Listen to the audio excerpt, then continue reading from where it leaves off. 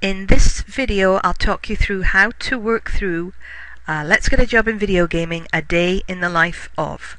And it's about Kim, who is a video game designer, and she discusses her duties as level designer and the education that helped her land the job.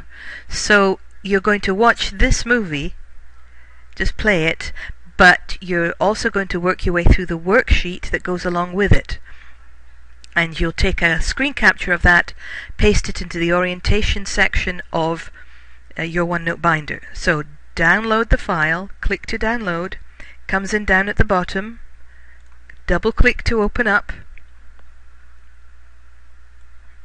There it is.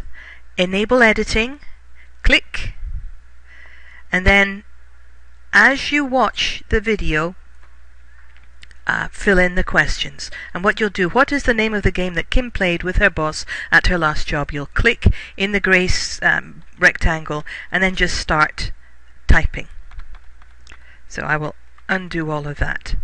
And then when you're finished, you do Windows S to take your screen capture, take a nice scrap capture of it, copy to clipboard, and then pull up your OneNote binder you're in the orientation section. Remember, you can expand like this.